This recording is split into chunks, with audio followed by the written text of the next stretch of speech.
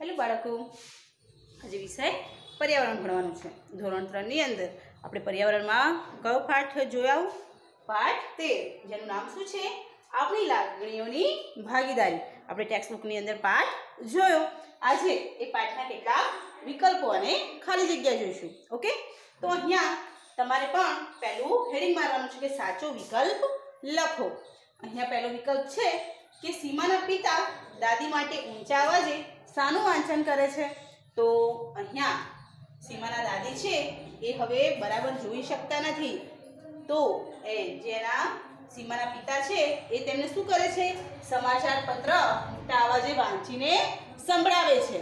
તો અહીંયા સમાચાર પત્રનું વાંચન કરે છે, તો તેનો સાચો જવાબ ક છે. તો આપણે ક લખવાનો છે. નંબર બે છે કે રવિભાઈ ચાલવા માટે શાનો ઉપયોગ કરે છે? તો તમને ખબર છે કે રવિભાઈ જોઈ શકતા નથી. એટલે તેમને ચાલવા માટે લાકડીનો ઉપયોગ કરવો પડે છે. પરંતુ તમે ચિત્રમાં પણ જોયું હશે, એ લાકડી કઈ છે? સફેદ રંગની લાકડી હોય છે. તો આપણે અહીંયા સાચો જવાબ બ છે. તો આપણે બ લખીશું. પછી જુઓ, જે વ્યક્તિ જોઈ શકતા નથી, તેમના વાંચન માટે કઈ લિપિ વપરાય છે?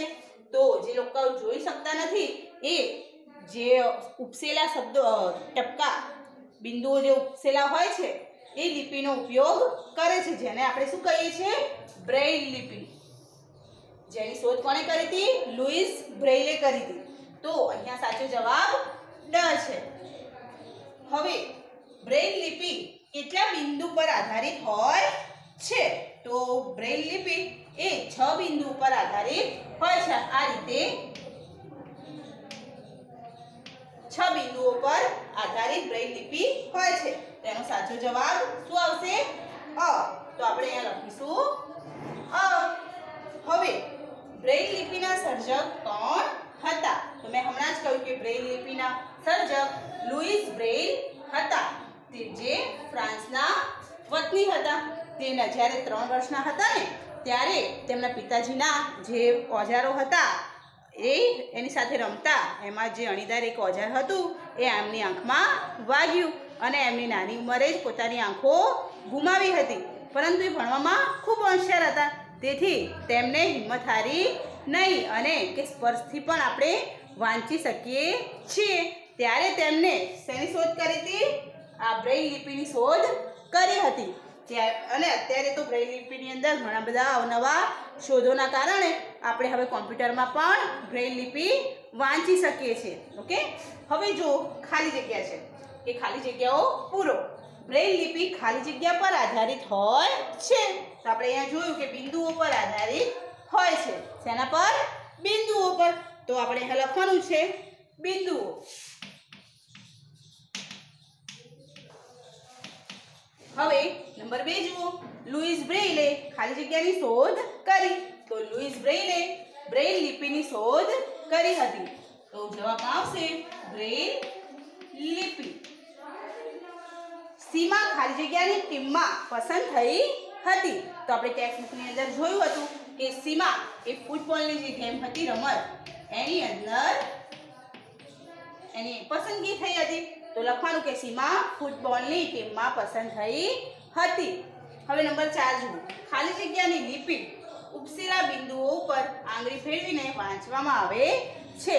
તો અહીંયા તમારી ટેક્સ્ટ બુકની અંદર પણ બ્રેલ લિપિનો અહીંયા એક ફોટો આપ્યો છે. જે તમે જોઈ શકો છો. જે લોકો જોઈ શકતા નથી, એ અહીંયા શું કરશે? ઉપર હાથ ફેરવીને જે અહીંયા તમને ટપકા દેખાય છે, એ શું એના પેજ જાડા હોય અને જે ટપકા છે, એ ઉપસેલા હોય છે. જેથી જે જોઈ શકતા નથી, એ આંગળી, આંગળીના સહારે જે ઉપસેલો ભાગ છે, એ વાંચી શકે છે. ઓકે? તો અહીંયા છે કે ખાલી જગ્યા લિપિ ઉપસેલા બિંદુઓ પર આંગળી ફેરવીને વાંચવામાં આવે છે તો આપણે અહીંયા લખશું બ્રેઇલ લિપિ, ઓકે? હવે બ્રેઇલ લિપિ હવે ખાલી જગ્યાની મદદથી પણ લખી શકાય છે. તો કઈ હમણાં જ મેં વાત કરી હતી કે કમ્પ્યુટરની મદદથી પણ હવે બ્રેઇલ લિપિ લખી શકાય છે. તો અહીંયા આ રીતે પાંચ ખાલી જગ્યા તમારે પણ લખવાની છે. અહીંયા જુઓ, તમારી ટેક્સ્ટબુકની અંદર પણ અહીંયા જે લુઈઝ બ્રેઇલ છે, એમના વિશે જણાવ્યું છે. કે લુઈસ બ્રેલ ફ્રાન્સના વતની હતા, એટલે કે ફ્રાન્સમાં રહેતા હતા. તેઓ ત્રણ વર્ષના હતા, ત્યારે તેમના પિતાજીના ઓજાર સાથે રમતા અને એકાએક એમને કોઈ અણીદાર સાધન એમની આંખોમાં વાગે છે. છતાં તેઓ હિંમત હારતા નથી અને તેઓ વાંચવા માટે અલગ અલગ રીતો વિચારે છે. ત્યારે તેમણે જણાવ્યું કે સ્પર્શ અને અનુભવથી પણ વાંચી શકાય છે અને તેમને જે રસ્તો શોધ્યો, જેનું નામ શું હતું? બ્રેઇલ લિપિ. એટલે એમને આ રીતે બ્રેઇલ લિપિની શોધ કરી હતી. પછી જુઓ કે આ પ્રકારની લિપિમાં જાડા કાગળ પર ઉપસેલા બિંદુઓની હાર બનાવવામાં આવે છે. તેના પર આંગળી ફેરવીને વાંચી શકાય છે. આ બિંદુઓ છ, આ જે લિપિ છે એ છ બિંદુઓ પર આધારિત હોય છે, જેમાં અલગ અલગ અક્ષર લખવામાં આવે છે, ઓકે? તો તમારે વધારે પણ જો જોવું હોય, તો તેમના પુસ્તકોની અંદર પણ તેમની બ્રેઇલ લિપિ વિશે વધારે જાણવા મળે છે, ઓકે? તો તમારે આટલું તમારી જે પર્યાવરણની નોટમાં છે, એ રીતે છોડીને સુંદર અક્ષરે લખવાનું છે, ઓકે? બાય!